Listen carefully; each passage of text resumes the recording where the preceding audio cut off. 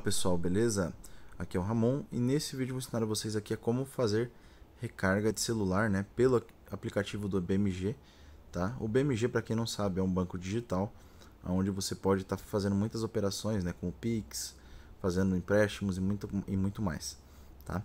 Para você fazer todo esse procedimento, né, de estar tá recarregando seu celular, você tem que vir aqui, até aqui do lado ó, e clicar em recar recarregar celular, tá?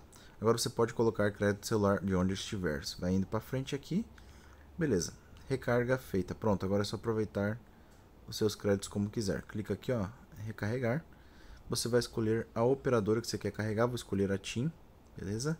Vou digitar aqui, ó, o número de telefone, tá?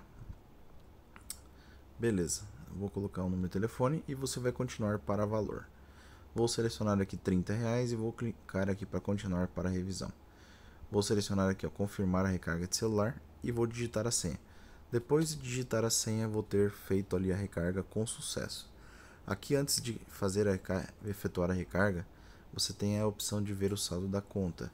Você clica ali para ver certinho, tá?